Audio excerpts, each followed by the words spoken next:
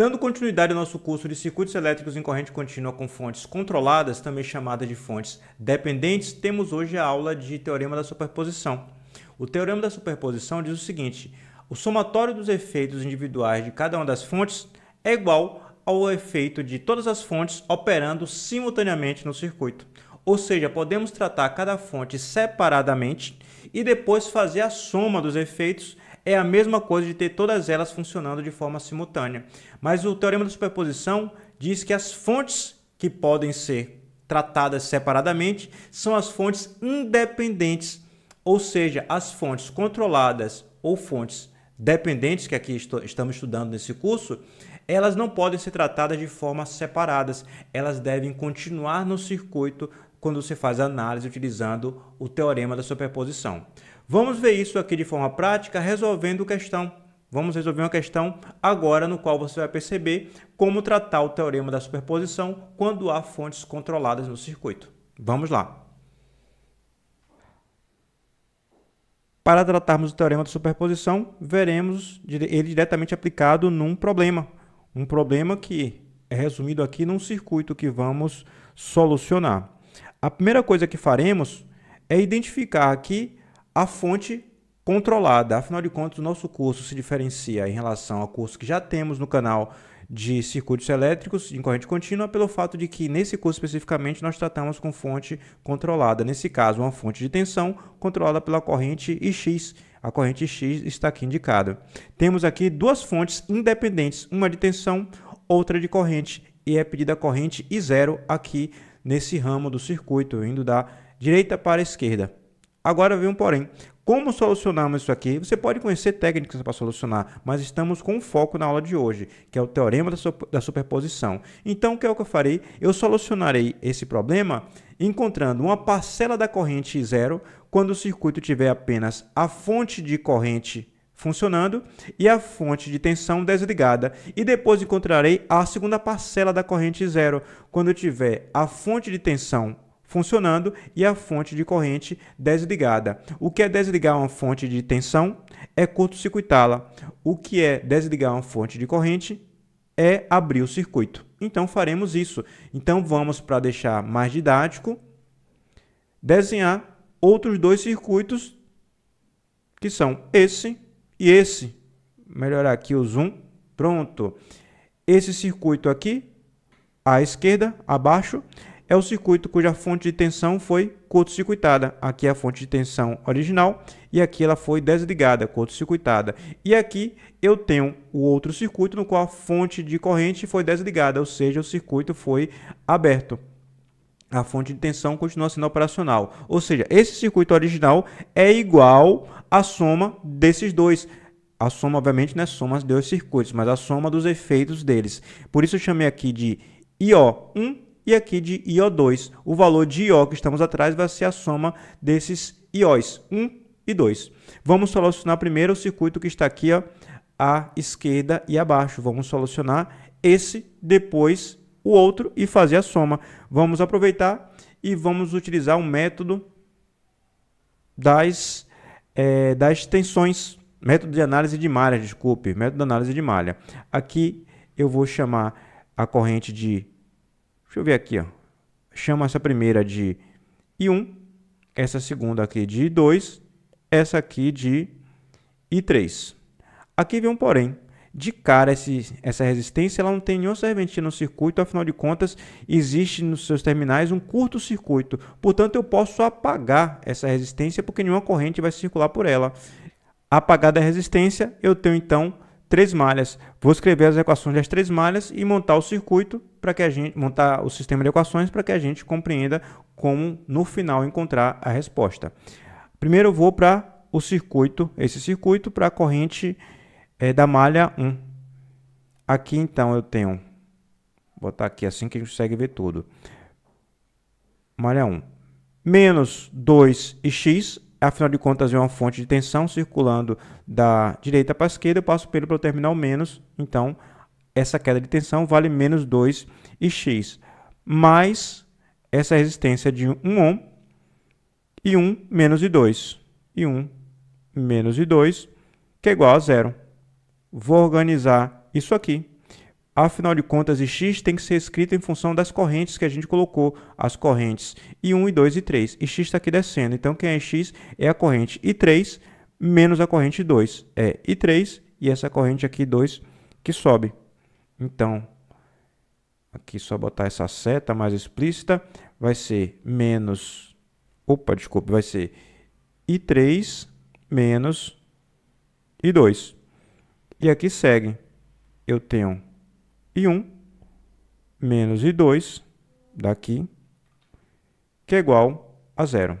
Só organizar isso melhor, aqui eu tenho então I1 menos 2 vezes menos 2, menos I2 vai dar 2 e 2 menos I2 vai dar, portanto, mais 1 e 2. E aqui eu tenho menos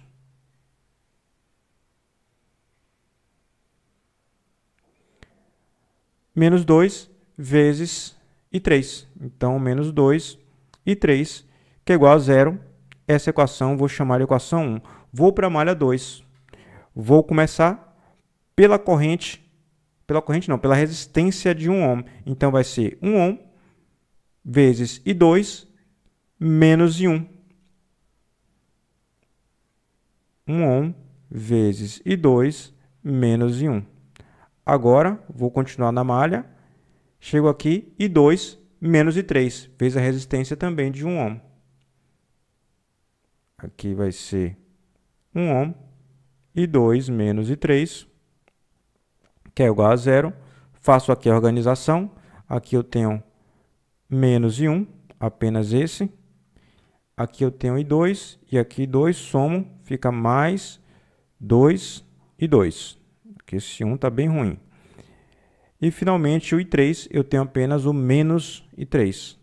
Menos i3, que é igual a zero. Essa é a segunda equação. Finalmente, a equação da malha 3. I3 é igual a 10 amperes. Essa ficou fácil.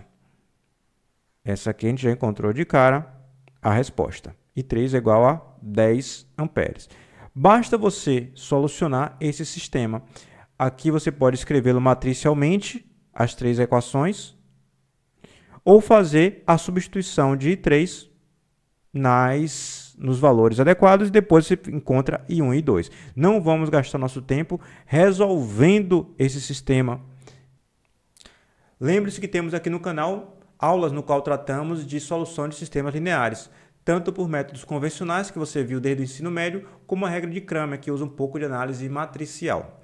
É importante também que você esteja apto a solucionar um sistema como esse empregando algum software, tipo MATLAB, Octave ou algum outro de sua preferência, até mesmo software da sua calculadora ou do seu celular, caso você faça uso de forma adequada para resolver as questões e não para gastar seu tempo vendo outras coisas. Vamos terminar aqui a questão.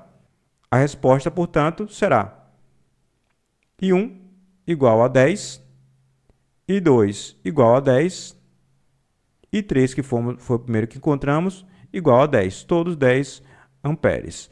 Mas não estamos atrás das três correntes, nós estamos atrás da corrente I01, que circula aqui da direita para a esquerda nesse ramo. E I01 vai ser I2 menos I1. Então, estamos atrás de I01, que vale I2 menos I1, que vale 10 menos 10 que é igual a 0 ampere. Pronto, e 0,1 tem esse valor. Vamos agora para o segundo circuito.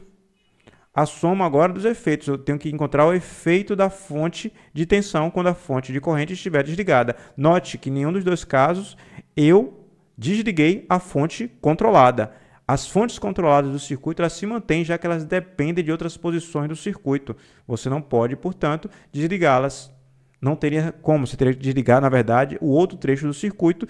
Aqui, então, eu vou chamar esse, essa aqui de 4 e 4. Vou chamar essa aqui de I5 e essa aqui de I6. Troquei os sentidos em relação ao caso anterior, só para a gente diversificar. Então, vamos encontrar os valores de 4, e 5 e 6. Não preciso encontrar aqui nenhuma outra, porque nesse caso também não há nenhuma corrente circulando aqui, né? Essa corrente aqui é igual a zero, por isso eu não gastei nem meu tempo é, indicando nenhuma corrente ali. Vamos para a malha que a gente chamou de malha 4. Qual é esse valor? Vou passar primeiro pela fonte de tensão, então vai ser menos 100 mais 1, que é o valor dessa resistência, vezes I4 menos I5, que é igual a zero. Então, a gente pode organizar isso aqui, fica I4 menos I5, que é igual a 100. O 100 passa para o outro lado, positivo. Essa equação não posso mais chamar de 1, né? vou chamar de equação 4.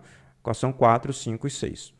Agora vou para a malha que eu chamei de malha 5. Poderia ter repetido, vou chamar de 1, 2, 3 de novo, mas preferi fazer isso. Outra forma de organizar. Vou passar primeiro, primeiro pela resistência de 1 ohm. Ou melhor, essa resistência de 1 ohm, já que todas são. Aqui eu vou ter I5 menos I4. Então vai ser 1 ohm e 5 menos I4. Chego nessa outra resistência de 1 ohm, cuja corrente vale I5 menos I6.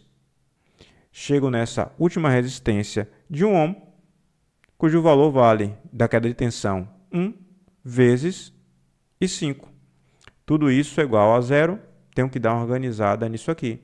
Tenho aqui o I4 menos I4 os 5 tem um, três deles aqui, então vai ficar mais 3 vezes e 5.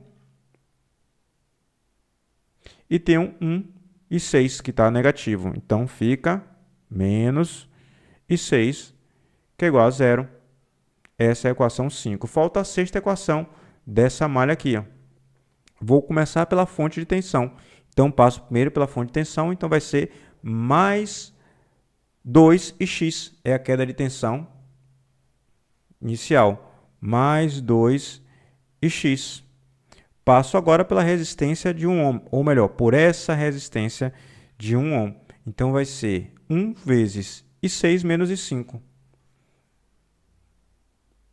Mais 1 vezes I6 menos I5 é igual a zero. Eu tenho que escrever em x em função das outras correntes. E quem é x, nesse caso, é igual ao próprio I5. Olha só, o I5 aqui, ó, circulando para cá, e aqui eu tenho x descendo. Então, x é igual ao próprio I5. 2 vezes x é igual a 2 vezes I5, mais I6 menos I5 é igual a zero. Então, fica 2 e 5 menos I5, fica I5 mais I6, que é igual a zero tem uma sexta equação. Mais uma vez, eu não vou resolver esse sistema, mas te dou as respostas. As respostas são I4 é igual a 133,33 amperes, I5 é igual a 33,33 amperes, e 6 é igual a menos 33,33 amperes. Joia, não estávamos atrás desses valores, estávamos atrás do valor de I02.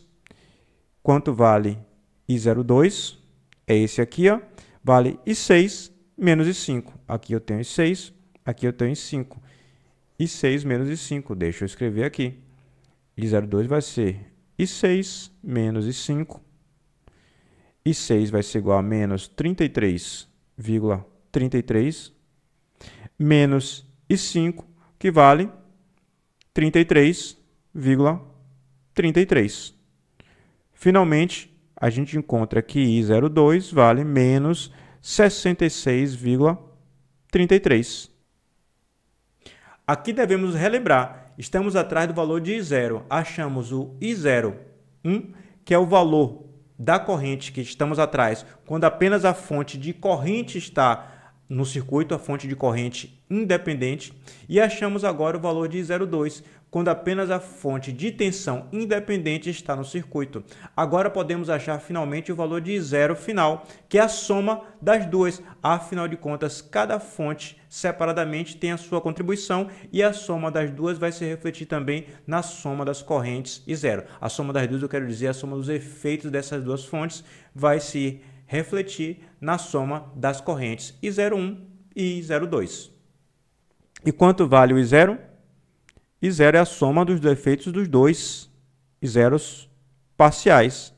I01 mais I02.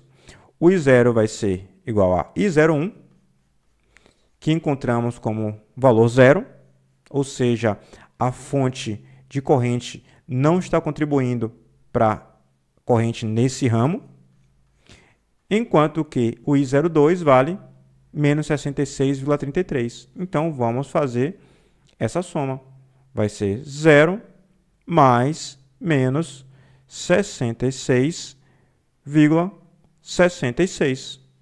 Então, e 0 vale menos 66,66 amperes. Pronto. É essa a resposta que estávamos atrás. Aqui só uma coisinha que eu percebi agora que eu errei. Ó.